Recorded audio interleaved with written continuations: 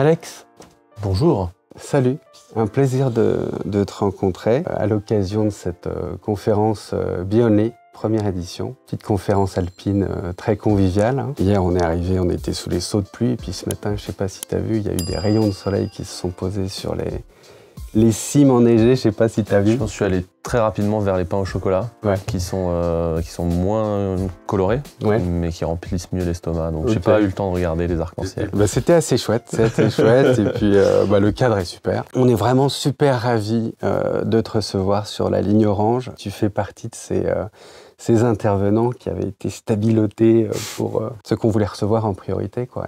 Alors, tu es devenu quelqu'un d'assez incontournable euh, dans le secteur de la crypto en France.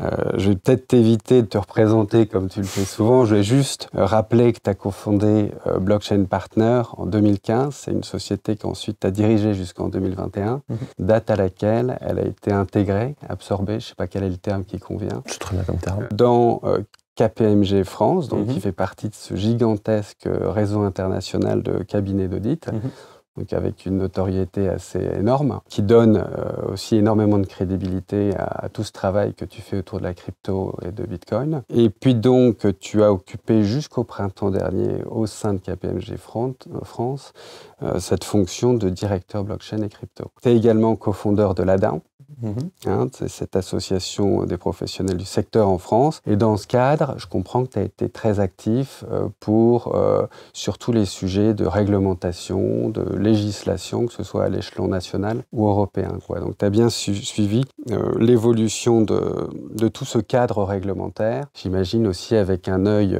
très éclairé sur ce qui se passe dans d'autres géographies, aux États-Unis, etc. Et puis tu es co-auteur de différents ouvrages. Il y a notamment Bitcoin et crypto-monnaie facile que tu as euh, coécrit avec euh, Claire Balva, qui est un petit bouquin euh, vert pomme là. Hein. en fait, il est très très visible. Oui. Donc pour ceux qui le connaissent pas, en fait, il est c'est difficile de le louper en librairie. Hein. Couverture vert clair et, et, un contenu assez éclatant de clarté. Moi, honnêtement, j'ai lu pas mal de bouquins d'introduction au Bitcoin et à la crypto, mais plutôt au Bitcoin, parce que ça fait partie de mon travail d'essayer de vulgariser cette objet quand même assez complexe à appréhender. Et ce livre euh, est euh, très très bon, très très bon. Moi, je le recommande euh, vivement à tout le monde.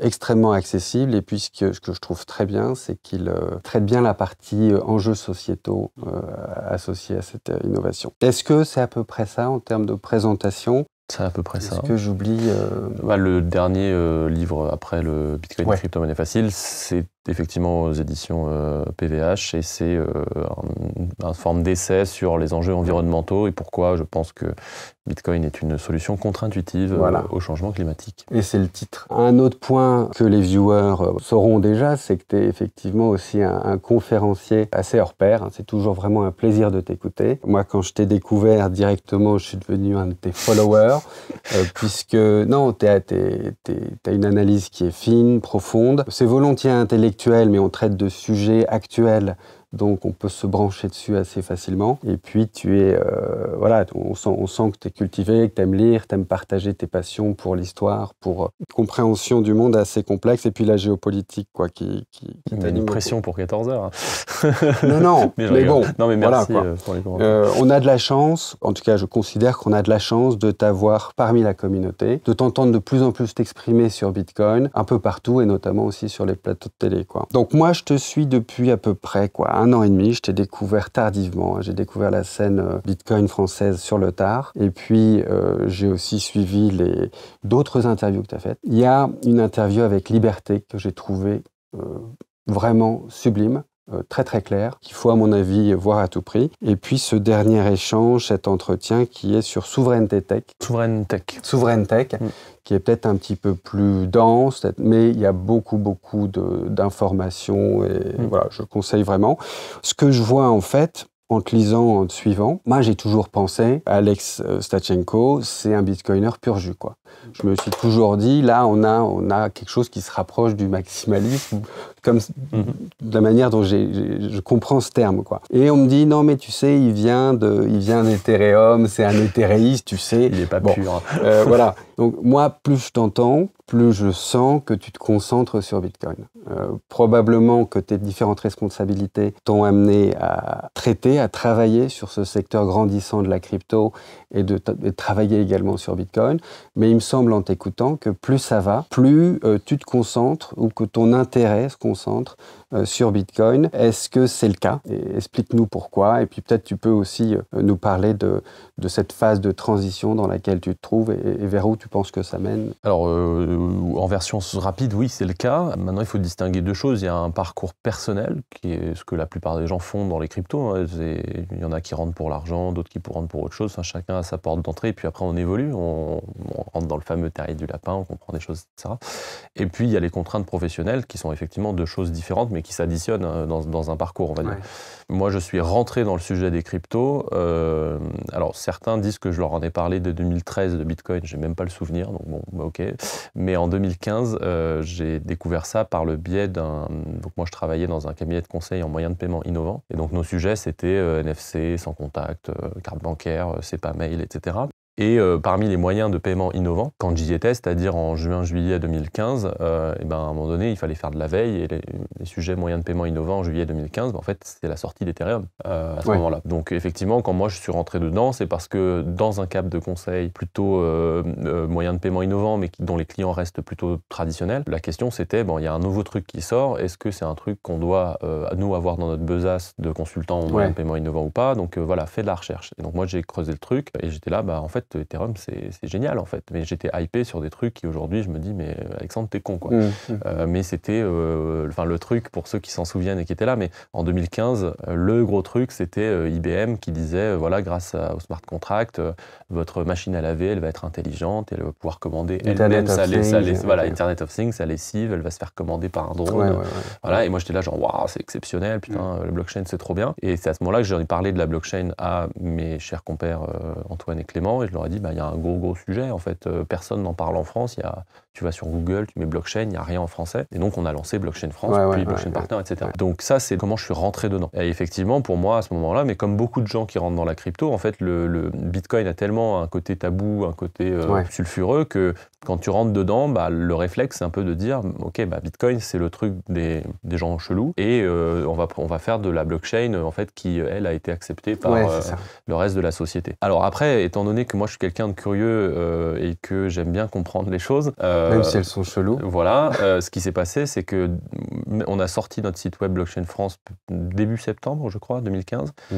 Et en septembre, j'ai aussi une des premières choses que j'ai faites, c'était aussi rejoindre le forum CryptoFR et aller parler aux gens de la communauté parce qu'en fait, je comprenais pas le truc. Et donc j'étais là, mais qui sont ces gens, etc.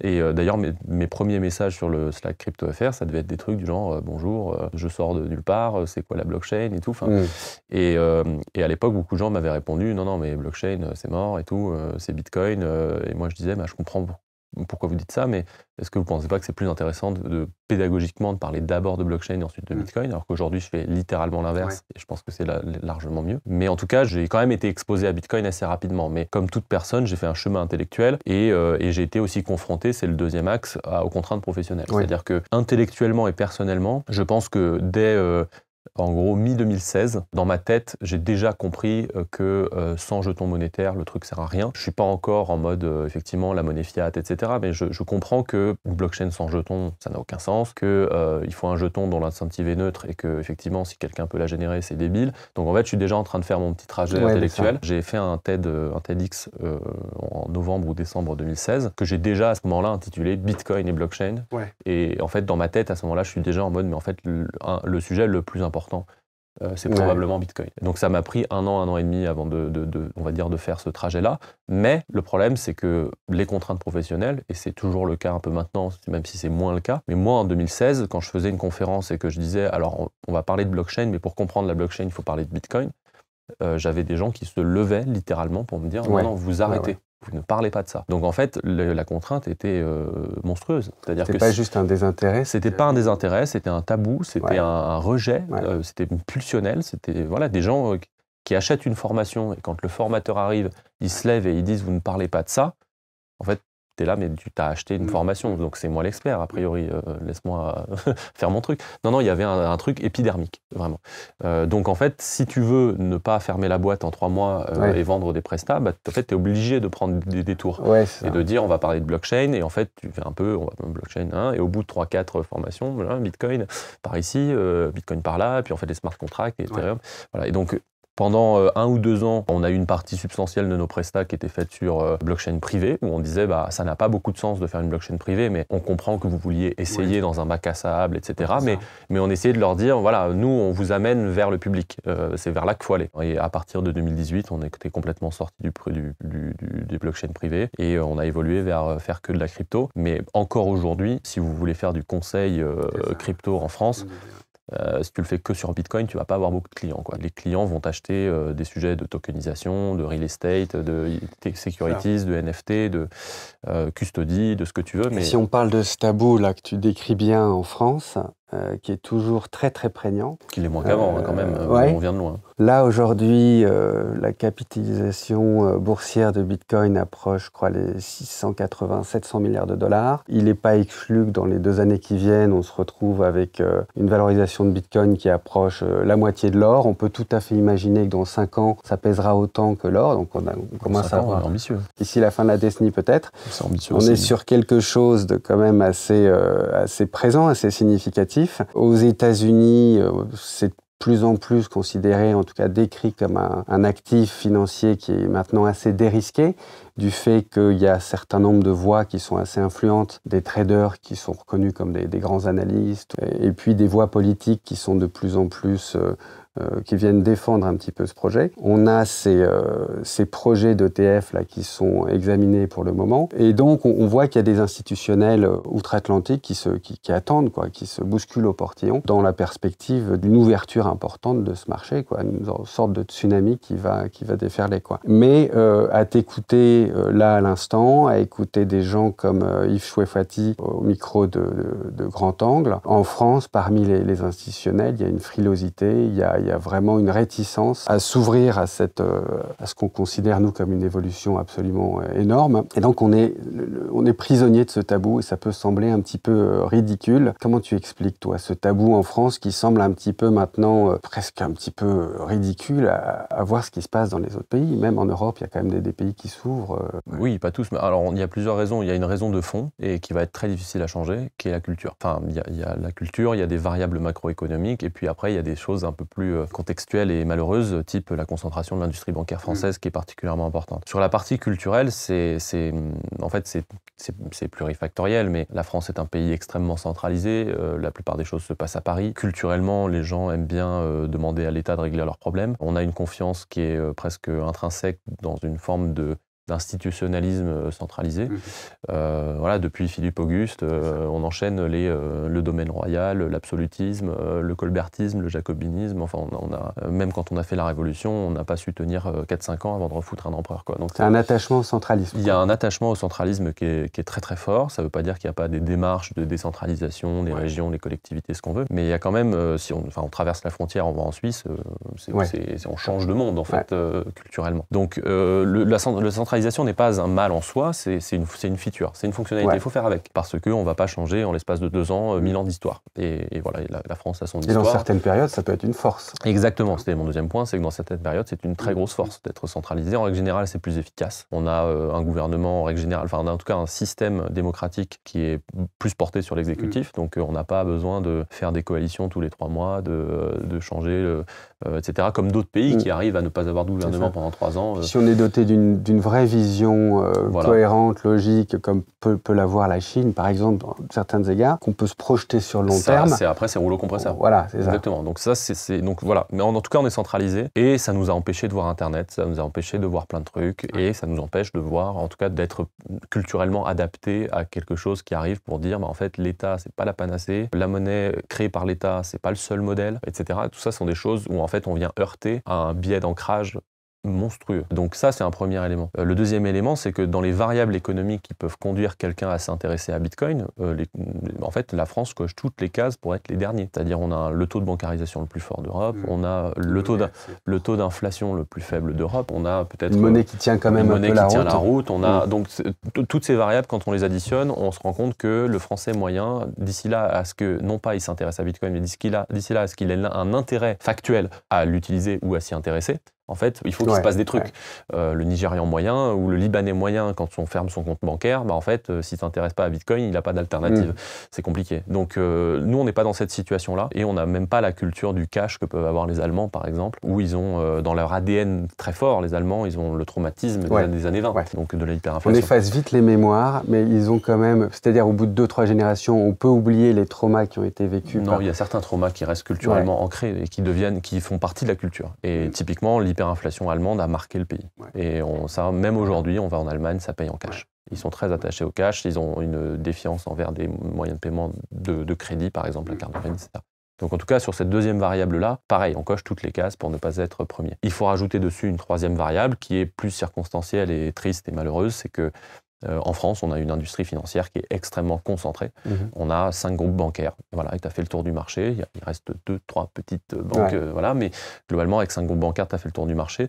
Et donc, ça, ça crée une dynamique euh, entrepreneuriale qui n'est qui n'est pas bonne euh, et qui n'est pas liée à la crypto. Hein. Euh, j'ai fait l'argument euh, plusieurs fois que le monde de la fintech l'a subi aussi. Mm. c'est pas normal qu'en France, on ait le prix du mégaoctet moins cher, on ait inventé la carte à puce, on ait les meilleures infrastructures numériques, on a les plus grosses banques européennes. Et c'est bizarre, dans les classements des fintech, on est derrière la Roumanie et on a deux licornes. Alors qu'on a des super ingénieurs en plus. On a des super ingénieurs et les, les deux seules licornes qu'on a en France, elles ont un point commun, c'est qu'elles n'ont pas besoin d'avoir accès aux données bancaires. Et ce n'est pas complètement innocent parce que toutes les autres startups qui ont eu besoin un jour d'accéder aux données bancaires de leurs clients pour se développer, eh bien, ils en ont été empêchés mm. par cinq banques qui se partagent le marché. Donc c'est un truc qui se réitère sur les cryptos. Typiquement, je pense qu'une des raisons pour lesquelles euh, la, France a un écosystème, euh, notamment Bitcoin, euh, trop peu développé. C'est en très très grande partie, c'est pas la réglementation PSAN ou je ne sais quoi. C'est que même si c'était, même s'il n'y avait pas de PSAN, tu ne peux pas avoir de compte en banque. Mm.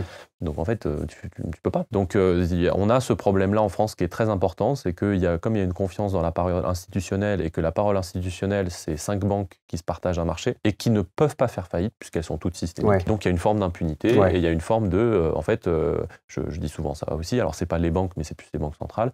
Quand tu vas sur un média en France et que tu veux parler d'inflation, on invite toujours la Banque de France. Et donc, en fait, il n'y a personne qui a levé pas de le, regard critique, nez du euh, guidon 20 secondes pour se dire, en fait, demander à quelqu'un dont c'est la mission De, de, juger son propre travail, en fait, il va jamais te dire que ça se passe mal. Ce n'est pas possible. Il y a eu à ce titre-là un interview là, très intéressant sur Thinkerview de Jacques Delarosière, donc, qui a occupé des postes au FMI, euh, Banque de France. Et qui, lui, euh, donc... Plutôt critique. voilà. Et bon, bah, mais il arrive à un âge où, voilà, il il est vraiment, on sent qu'il pense à ses enfants, ses petits-enfants et, au rôle que cette institution devrait jouer. Quoi. Donc, euh, et puis à la dérive assez importante euh, dont on est témoin aujourd'hui. Le, les, communications, il y a quand même certaines banques qui communiquent, sans doute la Société Générale, peut-être bien aussi le, Crédit Agricole, justement, euh, sur, sur une ouverture en fait. on sent qu'ils se mettent en place un peu peu, ils se préparent. Est-ce que c'est juste des, effets d'annonce ou est-ce que tu sens que les choses bougent? Qu'en Allemagne, par contre, ça a l'air de non? En Allemagne, ils ont un, tissu bancaire qui est beaucoup plus régional. Donc effectivement, ils, peuvent enfin, ils ont une forme d'approche euh, du risque qui est plus concurrentielle, on va dire. En France, il y a des annonces, mais la plupart des annonces euh, ne sont pas du tout liées au sujet euh, crypto ou Bitcoin au sens où on l'entend, et c'est très largement lié au sujet tokenized asset. Donc, quand un BNP ou un SOG dit on a un partenariat avec Metaco, c'est pas le sujet de la monnaie, quoi. C'est pas du tout le sujet de la monnaie. Alors, c'est pas pour autant que c'est mal, euh, c'est même plutôt bien. Euh, je pense personnellement, parce qu'on disait tout à l'heure, est-ce que tu es un maximaliste euh, Je ne le pense pas. C'est juste que je pense que Bitcoin est politique et le reste ne l'est pas. Ou beaucoup moins, en tout cas, en version simplifiée. Et donc, typiquement, je ne vois pas un monde dans lequel, dans 10-15 ans, on a encore des actifs qui ne sont pas tokenisés. Ça ne mm. fait pas sens, en fait. C'est plus pratique, c'est 24 heures sur 24, 7 jours sur 7, partout sur la planète, il n'y a pas besoin de compte en banque. Je ne vois pas pourquoi on n'irait pas tokeniser un actif. Il y a vraiment, il n'y a aucun intérêt. Donc, Évidemment, le fait que les banques françaises se positionnent pour dire on va proposer de la custody, on va proposer des choses sur les tokenized real estate, etc., euh, etc., c'est bien, mais ils vont avoir des sujets réglementaires comme tout le monde, c'est-à-dire que tant que la réglementation ne dit pas oui, vous pouvez faire du token bidule, bah en fait ils sont condamnés un petit peu à faire de l'expérimentation et à rester dedans. Et ça veut dire que l'éléphant dans la pièce qui est Bitcoin, effectivement, n'est toujours pas traité. Et c'est un truc qui est très, c'est un tabou, mais c'est un tabou collectif, c'est-à-dire que quand tu, moi j'allais dans des dans des comités exécutifs ou, dans des top 50 management, etc., des, des, grandes banques françaises. Dans un top 50, par exemple, j'avais demandé euh, qui a des bitcoins, qui a des cryptos. Il y, a un, qui lève la main. Je fais Ah, putain, je m'y attendais pas, hein, franchement. Mm, je fais oh, vous avez des cryptos il, fait, il baisse la main, il dit Non, je déconne, mm. euh, j'ai pas de crypto. Je fais Ok, très bien. Je vais le voir après. Il me fait J'ai des cryptos, mais mon manager m'a regardé, donc euh, voilà, je baisse la main. Et il y a vraiment ce côté tabou. Je, je connaissais un gars aussi à la Banque de France où, à partir du moment où il a dit En fait, la crypto, faudrait qu'on s'y intéresse, le bitcoin, c'est intéressant. C'est bizarre, tous ses amis ont continué de prendre des grades et pas lui. Quoi. Ah, c'était beau ça. Euh, donc tu as ça, et puis tu as je, dans un autre. Une frein à, l'ouverture d'esprit, c'est quand même fou. quoi. C'est plus une question de, de rente de situation. C'est-à-dire que dans un comité exécutif, il y avait aussi, euh, quand on était en collectif, c'est-à-dire tous ensemble, il y avait vraiment cet aspect presque accusatoire, c'est-à-dire vous venez de parler de Bitcoin, on n'est pas là pour ça, euh, qu'est-ce que mm. vous faites là, etc. Nous, on va parler de tokenisation et machin. Et après, quand tu fais des réunions, parce qu'après on fait de la stratégie, donc on prend chacun des membres du COMEX, en gros, et leurs équipes, et on dit, bah voilà, sur votre branche à vous, sur quoi on va travailler. Et en fait, tu te rends compte, dans le tas, il y a des gens qui ont même investi dans des boîtes Bitcoin, mm. à titre perso. Mais ils te disent, voilà, devant le, devant le COMEX, c'est mort. Je peux, enfin, moi, je, si je dis ça, je dégage, en fait. Ah donc, euh, il y a un tabou collectif entretenu où, euh, comme le sujet Bitcoin est politique, eh ben, en fait, c'est un risque monstrueux que de se positionner dessus. Euh, risque que tu n'as aucun intérêt à prendre dans une situation de cartel oligopolistique. Le principe d'un cartel, c'est que en fait, l'innovation n'a plus de sens. Tu as juste mm. à te mettre d'accord. Dès qu'il y a une innovation qui arrive. Protège collectivement les intérêts tu te protèges, Tu dis ce truc-là n'existe pas, c'est de la merde, ça va jamais marcher, etc. Si jamais ça marche quand même, bah en fait, tu as gagné 4 ans sur ton marché mmh. national, mmh. super. Et puis, au pire, tu rachètes une boîte étrangère. Ou bien, euh, bah, en fait, tu développes toi-même un service avec 4 ans de retard, c'est pas grave. Dans l'affaire, la France a perdu en souveraineté. Mais c'est pas leur sujet s'en euh, donc c'est moi c'est ça qui m'embête beaucoup, c'est qu'effectivement individuellement la plupart des gens que tu vas voir dans l'industrie financière et bancaire, il y en a beaucoup qui sont ouverts d'esprit, qui sont très bien. Mais collectivement, il y a un effet mouton de meute qui fait qu'ils sont dans un, dans un système qui ne crée pas du tout les bonnes incitations et qui devient un jeu politique où mm. euh, voilà comme de toute façon ils peuvent pas faire faillite, bon bah, chantage un petit peu euh, à la situation. Dans ce contexte où en fait on n'a pas d'appui du tout top-down, que ce soit des pouvoirs politiques ou économiques, il y, a un rejet même. En France... Enfin, il y a un rejet, encore une fois, de définition de l'objet, c'est-à-dire que c'est même ça le problème en partie, c'est que tu peux très bien avoir des, des gens, des ministres, des, voilà, qui vont venir soutenir des choses comme euh, Multivers X. Oui, c'est ça. Voilà. Par, pourquoi? Parce qu'il y a une stratégie du métaverse européen, donc ça rentre dedans. Hmm. Mais par contre, Bitcoin, c'est mort. C'est politique. Et donc en France, euh, l'adoption, mais en Europe et on pourrait dire même peut-être dans le monde, euh, l'adoption de Bitcoin, elle se fait doucement, cycle après cycle. Hein. Si, on, si, on, voit les indicateurs, on voit que ça progresse, mais ça se fait, et en France, on, on le voit encore aujourd'hui lors de cette conférence, ça se fait par le biais de d'une dynamique grassroots, vraiment de la base, avec des, des bitcoiners convaincus. Euh, c'est un épiphénomène. On est, sur des, on, est très peu nombreux mm. finalement à être vraiment euh, hyper convaincus et à se battre pour ce projet. Qualitativement, c'est sans doute intéressant. Euh, qu'est-ce que, quel est ton regard, toi, sur, sur la manière dont l'adoption progresse en France, sur Bitcoin spécifiquement? Je vais peut-être me faire détester, mais l'adoption, elle vient rarement des bitcoiners. La plupart des gens, encore une fois, qui rentrent dans le milieu des cryptos ne rentrent pas par le biais de l'anarchisme, les libertés ou euh, le rejet de la monnaie fiat.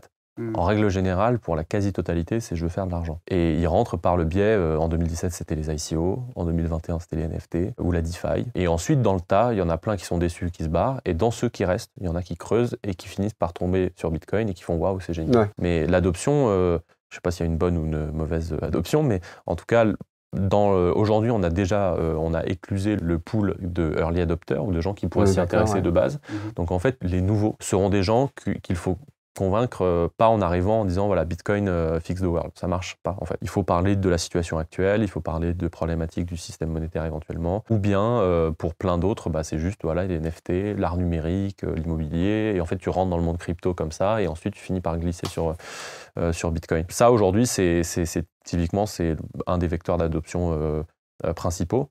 Et par contre, là où les bitcoiners peuvent être assez forts, c'est justement comme ils ont une cohérence et une, colonne vertébrale idéologique qui est 40 fois plus solide que le reste, en gros, mmh. pour faire simple. Je ne veux pas mettre à dos les autres communautés, mais il y a une forme de socle mmh. idéologique. Bah, qui est ancré dans la réalité. Qui est, bah, qui est ancré dans la réalité, qui est ancré aussi dans une préhistoire, dans, dans, dans la cryptographie, dans, des, dans une démarche idéologique. Puis, comme tu dis, qui rentre en résonance sur une, sur une sagesse classique. Oui, donc en fait, ça, ça, vient éclairer la réalité d'un jour nouveau. Et donc, il y a un socle qui n'est pas. Voilà, euh, si on s'intéresse à, à, Ethereum, rapidement, euh, en fait, on, on va devoir faire un choix euh, intellectuel, euh, je le fais en version très simple, mmh. mais euh, entre les NFT, la DeFi, la tokenisation, mmh. par exemple, en version simple. Si on n'a pas d'appétence particulière pour l'ingénierie financière, la DeFi, on se fait chier en fait. Ce qui est mon cas, moi. Ça Il y a sans doute des choses intéressantes. Peut-être qu'à la marge, il y a des projets qui vont fonctionner. La plupart des, projets altcoin, au fil du temps, on voit qu'ils n'ont pas.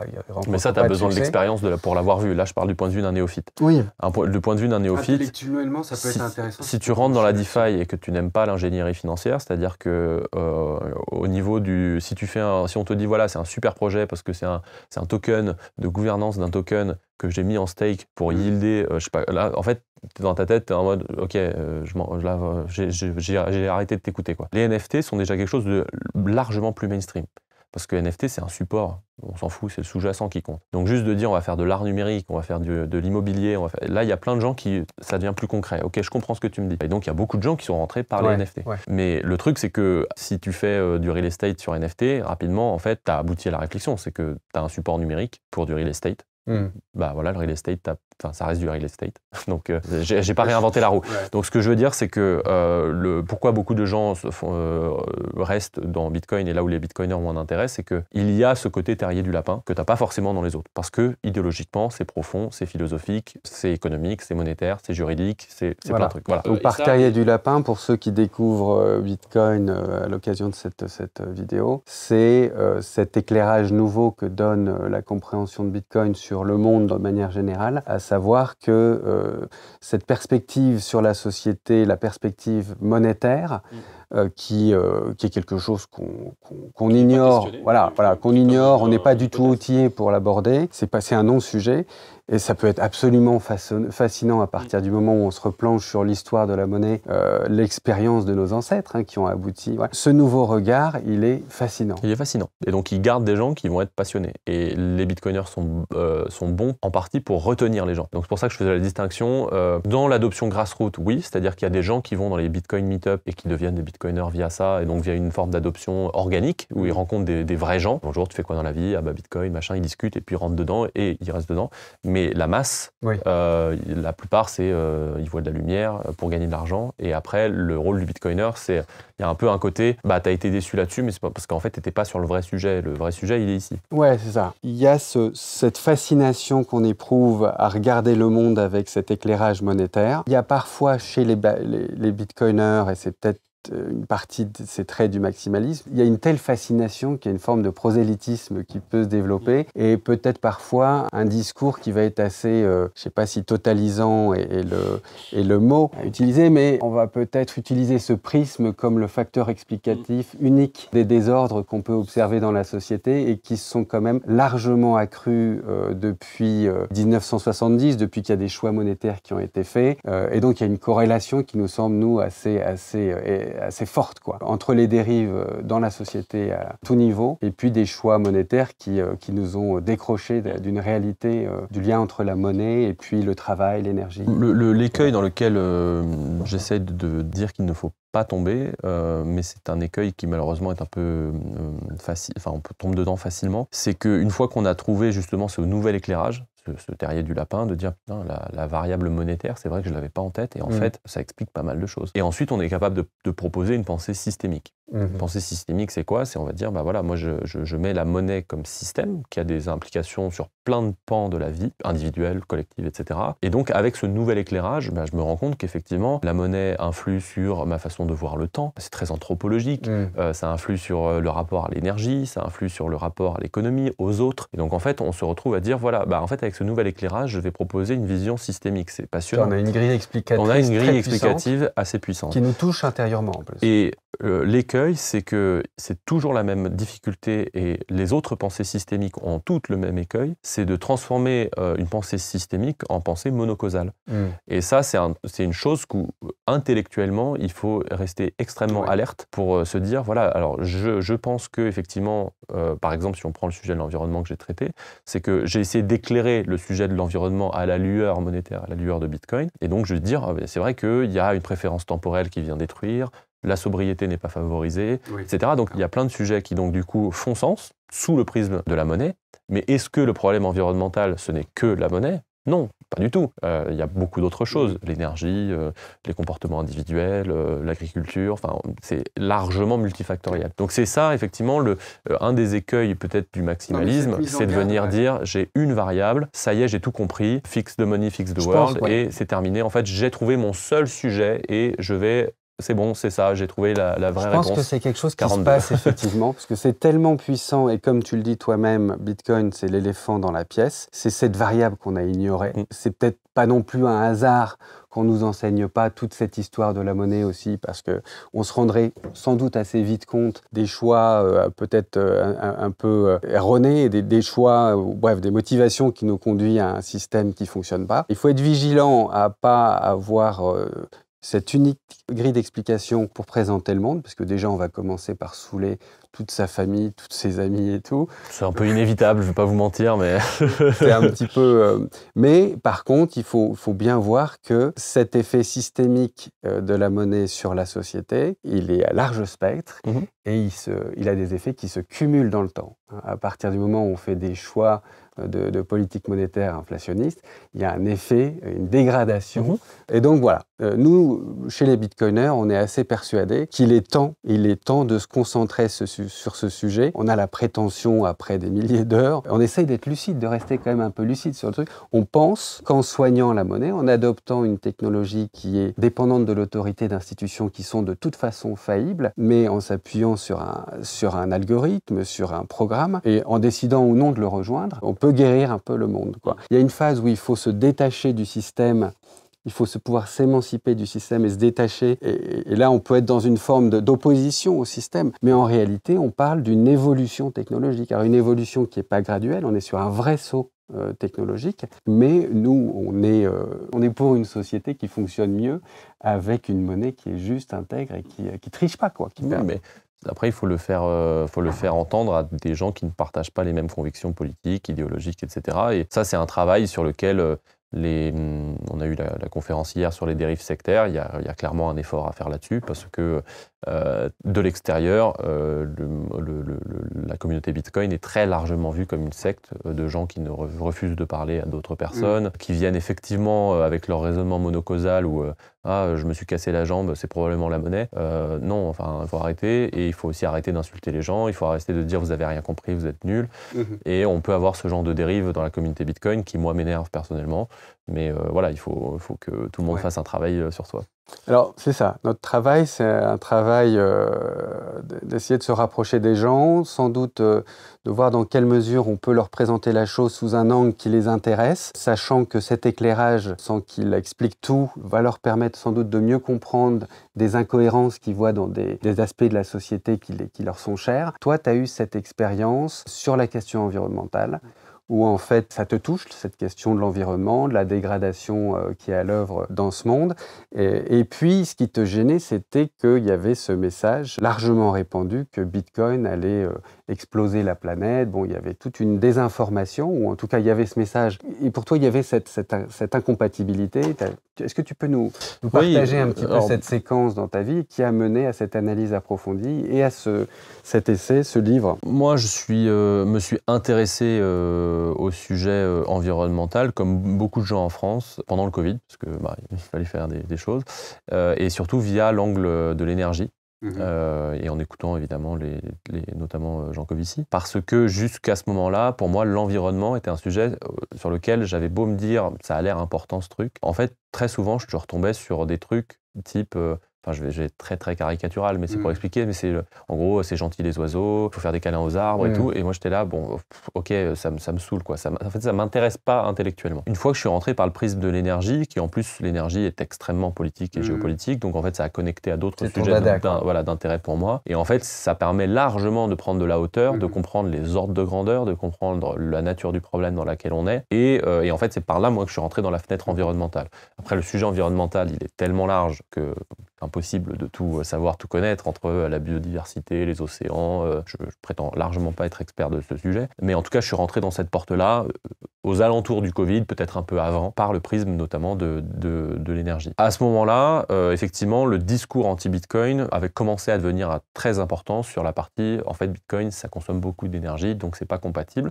Et moi, comme je suis rentré par le prisme de l'énergie, en fait, j'ai eu tout de suite une dissonance cognitive, me dire, ah, c'est vrai qu'en fait, ça se trouve, je suis en train de défendre un truc Ouais. qui n'est pas du tout compatible avec le reste de ce que je viens de découvrir, Mhm, ou en tout mhm. cas que je viens de comprendre sur la partie environnementale. Donc il y a un problème. En fait, il va falloir que je lâche un des deux sujets, quoi. C'est c'est pas possible. Et donc euh, je- j'ai un peu euh, travaillé le sujet euh, dans ma tête, euh, enfin comme toute dissonance cognitive, hein. d'abord on la met dans un coin de sa tête, on se dit, oh, c'est pas grave. Ensuite ça revient, puis on fait Ouais. merde, peut-être que je vais le creuser un petit peu. Et, et j'ai fini effectivement par creuser le sujet et à me dire, bah, je vais, je vais me renseigner. En fait, je vais pousser le raisonnement jusqu'au bout. Est-ce que c'est écolo ou pas? Et donc il y a probablement plein d'autres variables et je vais le creuser. Et puis si jamais la réponse c'est qu'en fait ça marche pas, bah, en fait j'aurais pas vraiment d'état d'âme par exemple à abandonner Bitcoin puisque Ouais. si c'est pas compatible avec un monde dans lequel je suis de toute façon Mhm. persuadé qu'on va, bah en fait je vais pas continuer de perdre mon temps parce que dans, Mhm. dans 10 ans euh, ce sera même plus viable etc et en fait je suis arrivé à la conclusion inverse mais je suis pas le seul à avoir fait ce chemin intellectuel hein. Daniel Batten qui est assez connu donc est le néo-zélandais qui fait son fonds pour euh, sortir du méthane de l'atmosphère via Ouais. les landfills et le, et le mining il raconte le, la même démarche intellectuelle c'est à dire que lui c'est un, un- un écolo convaincu c'est Ouais, un depuis son enfance. hein. militant depuis son enfance Familial, quoi. Exactement, il a monté des fonds euh, écolos, etc. Et euh, quand quelqu'un lui a dit Bitcoin, potentiellement c'est écolo, il a fait ferme ta gueule, quoi. En gros, Ouais. c'est bullshit. Et en fait, il a creusé lui-même et il a une phrase euh, que je dis dans mon article qui est euh, Personne ne fut plus étonné que moi de découvrir qu'en fait c'était positif pour Ouais. l'environnement. C'est pas un problème. C'est en fait il faudrait. Et donc on se retrouve avec des phrases qui deviennent très paradoxales de- du type il faudrait que Bitcoin consomme plus. Mm. Effectivement, pour un, un- quelqu'un qui écoute de l'extérieur, il fait mais en fait tu es devenu matrixé. Ouais. C'est mais c'est normal de penser ça. C'est-à-dire ton quel- article, en fait, il permet à chacun, il y a une progression très logique qui permet de comprendre, en fait, euh, de manière euh, très logique, scientifique. euh, scientifique, euh, bon, je suis pas Oui, scientifique, mais en tout cas, dans la, dans la méthodologie, j'essaye Ouais. d'être assez rigoureux, effectivement. Mais je- j'essaye de dérouler un argumentaire qui est de dire, euh, dans le sujet Bitcoin et environnement, oui, il y a le sujet, ça consomme de l'énergie. Mais c'est pas l'éléphant dans la pièce. L'éléphant dans la pièce, c'est le système fiat qui ne nous permet pas. Vous pouvez faire autant de COP que vous voulez. Si vous changez pas la monnaie, vous allez dans le mur. Mhm. Et donc, j'essaye d'expliquer dans mon article de ne pas parler de Bitcoin, de dire voilà comment ça fonctionne à l'heure actuelle. À l'heure actuelle, on a un système fiat inflationniste qui bouge la préférence temporelle, qui favorise la consommation, qui interdit l'épargne qui ne permet pas la sobriété. Mhm. Étant donné que le GIEC nous dit que si on n'a pas un volet sobriété, en fait, il n'y a aucun scénario qui fonctionne, en fait, je retourne l'accusation en disant, vu que le système monétaire, c'est-à-dire le système qui s'applique à tous les agents économiques partout sur la planète, tout le temps, vu que le sy- système-là n'est pas compatible avec ce dont le GIEC nous dit que c'est impossible de faire sans, quelle est votre proposition de solution? Mhm. Et en fait, la- l'accusation est renversée. C'est-à-dire, moi, j'ai mon système monétaire euh, qui est compatible, mais vous, qu'est-ce que vous proposez? Vous proposez de rester en système fiat? Donc vous ne voulez pas de sobriété. C'est ça que vous me dites. Ah ouais. Dans l'article, je ne vais pas jusqu'à, euh, entre guillemets, euh, faire ces renversements accusatoires, mais c'est en disant, voilà comment ça fonctionne, ce n'est pas compatible, c'est impossible. Donc intellectuellement, on en est arrivé à un stade qui est de dire quelle est l'alternative. L'immédiateté, ce serait de dire, bah, on retourne à l'or. Et l'or, bah, c'est pas plus environnemental. hein. On détruit la planète avec l'or, le mercure, le cyanure, nanana. Et puis en plus, c'est pas numérique. Donc euh, si ça a échoué dans l'histoire l'or, pas pour rien. Donc si on revient à l'or, qu'est-ce qui nous garantit que ça va Mhm. pas rééchouer pour les mêmes raisons? Bitcoin est une proposition de solution. Et je- voilà pourquoi ça peut fonctionner. Et ensuite, j'arrive sur la partie opérationnelle où je dis, et en plus du fait que systémiquement, ça va orienter tous les individus vers l'épargne, la sobriété, eh bien, on se, on se rend compte que ça favorise les ENR, ça équilibre les réseaux électriques, ça retire du méthane de l'atmosphère. Donc, en fait, pourquoi on n'y est pas déjà Je pense que c'est ça. Il y, a, il y a- il y a deux messages vraiment clés qui ressortent, à mon avis, de, de- de ce Mm. travail. C'est premièrement, Bitcoin, c'est une chance inédite Mm. pour l'humanité euh, pour, pour, euh, pour traiter ces enjeux environnementaux. Et donc, objectivement, tout le monde devrait s'en réjouir. Et c'est ma conclusion, c'est ça. Ma- la conclusion, euh, enfin une des, une- un des bullet points de ma conclusion à la fin, c'est de dire à ce stade de la réflexion, même si vous pensez que Bitcoin euh, ne sert à rien, n'a aucune utilité sociale, peu importe. Puisque je viens de vous dire que même sans utilité sociale, vous financez les ENR et vous sortez du méthane de mm. l'atmosphère. Donc c'est déjà une utilité sociale. Et le deuxième point, c'est euh, on est dans un consumérisme effréné qui a, trouve son origine en partie dans le système monétaire euh, qu'on ne regarde pas, mais qui est conçu de telle sorte qu'il nous pousse à consommer et, nous décourage d'épargner en vue d'investissements qui seraient plus structurants pour la et société. Et je précise que, parce que c'est très important, euh, pourquoi je préfère faire cette précision, c'est que en règle générale, quand on dit ça, une personne qui n'a pas, bah, qui n'a pas encore remis en cause le système monétaire, qui dit bah non, on ne sait pas faire autrement, etc., va avoir tendance à dire immédiatement non mais en gros, attention, c'est border complotiste ce que tu dis, mmh. ça nous favorise, ça, ça, nous incite à la consommation. Et donc je voudrais préciser que ce n'est pas du tout complotiste, c'est même assumé. Mhm. La raison pour laquelle on cherche de l'inflation, c'est pour favoriser la consommation. C'est dit dans le, c'est dit dans le, dans le, truc en fait. Donc c'est même pas, c'est même pas hétérodoxe. C'est juste une traduction écologique d'une philosophie économique qui est celle aujourd'hui en place. Voilà, donc précision importante, c'est que non, là on n'est même pas encore rentré dans l'hétérodoxe ici. Ici on est dans juste le normal, le, le, truc accepté par tout le monde. C'est l'objectif visé. Exactement. Et assumé. Ok. Le, temps passe. Je pense qu'il faudra prévoir d'autres rencontres. En fait, il y a plein de sujets. Rien que ce sujet-là peut faire l'objet. Oui, euh, tout à fait. Il y a, d'ailleurs euh, CryptoGecko, euh, qui, qui, fait partie de l'équipe Découvre Bitcoin, ligne orange, qui a enregistré là tout récemment une, un entretien qui s'est inspiré de ce travail que tu as fait, de cet article, de ce livre. Hein, on va le faire, on va l'afficher. Que je conseille à tous ceux qui, sont, qui, qui se sentent concernés par la question environnementale et qui veulent juste un éclairage un petit peu nouveau, complémentaire, qui va leur donner l'espoir. Parce que moi, c'est ça aussi, Bitcoin, ça donne de l'espoir. Moi, je suis dans cette démarche. Mais c'est la fin de mon interview Souverain Tech, pour le coup, euh, que, que, je recommande, mais comme tu l'as dit, qui est dense, c'est qu'il y a effectivement un aspect euh, espoir générationnel autour de Bitcoin, je pense, euh, et qui est important, parce que beaucoup de gens, en fait, n'ont plus d'espoir aujourd'hui, et donc il y, a un vrai côté projet politique. Voilà, ça permet de sortir de ce monde un peu dystopique où on n'a pas tellement d'issues, il faut arrêter d'avoir des enfants parce que le monde va s'écrouler. Bon, il y a des solutions, lisez cet article. Et je fais, pardon, une dernière précision, c'est que je, voudrais vraiment inciter les gens à le faire. Alors, j'allais dire, pour moi, c'est trop tard. Parce que moi, j'ai un énorme bitcoin écrit sur ma gueule. Euh, et donc, quand euh, j'ai écrit mon article, mon but, c'était de, c'était pas de convaincre des convaincus. Mon but, c'était d'aller voir les militants écolos, les gens qui sont dans ce milieu-là, et de leur dire est-ce que cet angle d'analyse vous intéresse? Est-ce que vous avez pensé au sujet monétaire? Est-ce que, mhm. est-ce qu'en fait, vous n'avez pas raté un éléphant dans la pièce?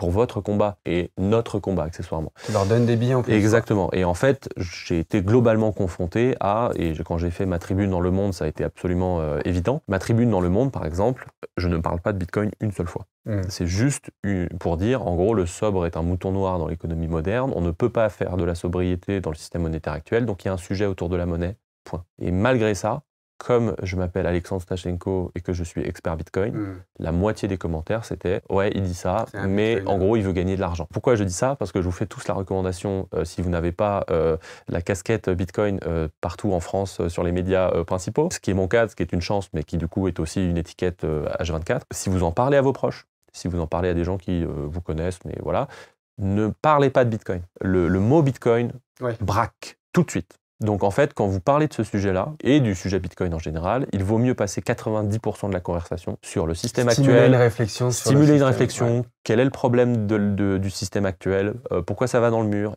Est-ce qu'il y a des alternatives? Ah bah flûte, Revenir, alors, les gens sont sensibles à, à l'état Pourquoi pas? Mais en tout cas, effectivement, tenir tout le raisonnement sans évoquer nulle part le mot Bitcoin. Hmm. Le moment où tu évoques le mot Bitcoin, tu es soupçonné de vouloir gagner de l'argent sur son bah dos. Bah ouais, il y a tout. Donc, les gens étaient conditionnés à penser que c'était un truc pour. Euh, voilà, recommandation ne parlez pas de Bitcoin. Parlez-en à la fin. Juste pour terminer, alors on utilise dans, parmi les Bitcoiners une, des modalités, je dirais, d'éducation, c'est les mêmes. Ces espèces de petits euh, oui, je suis euh, images, messages. Créateurs de mèmes. Des créateurs de mèmes. Donc c'est ces petites condensé d'informations. J'ai un copyright sur le même Christine Lagarde, euh, it, will, come. Alors, je te demandais si tu avais trouvé, est-ce que tu voulais partager un mème aujourd'hui euh, Quel est-il? Euh, bah, c'est celui que je te montrais tout à l'heure, c'est Gandalf dans Le Seigneur des Anneaux. There are things in motion that cannot be stop, un truc comme ça, parce qu'effectivement, ça correspond un peu à la situation. Il y a un côté. Euh, il y a quelque chose qui a été mis en, fait, C'est dual, c'est-à-dire qu'il y a côté effondrement du système actuel. Il y a, bah, en fait, la phrase est valide, c'est-à-dire il y, a des, il y a des choses qui sont en mouvement qui ne peuvent pas être arrêtées. Le système Fiat, en fait, ne, survit que grâce à la croissance et la dette. Donc, euh, il est condamné à faire une fuite en avant perpétuelle.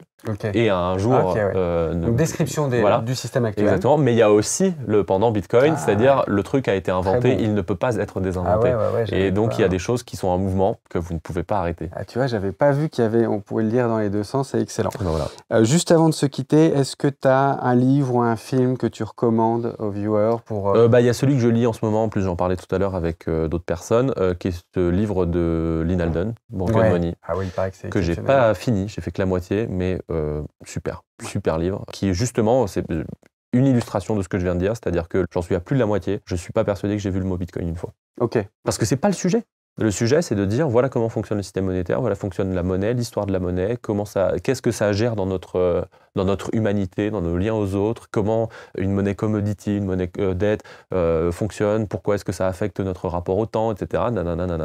Et j'ai regardé, je crois qu'à partir des deux tiers ou des trois quarts, on a la partie qui s'appelle then suddenly, euh, en gros, Satoshi Nakamoto. apparemment, c'est une super synthèse. C'est une super synthèse. On va s'arrêter sur euh, quelques citations. En fait, j'ai repris euh, quelques phrases que tu as exprimées et qui me semblent intéressantes. Alors, la capacité à reprendre la possession de ses actifs, ou du moins en avoir l'alternative accessible, est absolument salutaire pour se prémunir de dérives autoritaires qui sont en cours. Pour le dire autrement et de manière claire, les cryptos, Bitcoin en particulier, sont un test pour nos démocraties permettant de révéler notre appétence collective à la liberté ou à la servitude volontaire et au contrôle. Tout à fait. je, souscris à ce que je dis. Euh, ça va, j'ai pas encore tout à fait changé. Le système monétaire actuel est un système hédoniste qui ne permet pas la sobriété et incite les agents économiques à ne pas prévoir le long terme. C'est un chamboulement artificiel des systèmes de valeurs des individus. Et finalement, on termine sur cette note d'espoir, Bitcoin peut être une pierre angulaire d'un nouveau récit collectif qui nous permette de faire nation. Voilà, Alexandre, euh, vraiment super de t'avoir pour bah, ce premier entretien sur la ligne orange. Je suis très content de t'avoir parmi euh, notre communauté des Bitcoiners.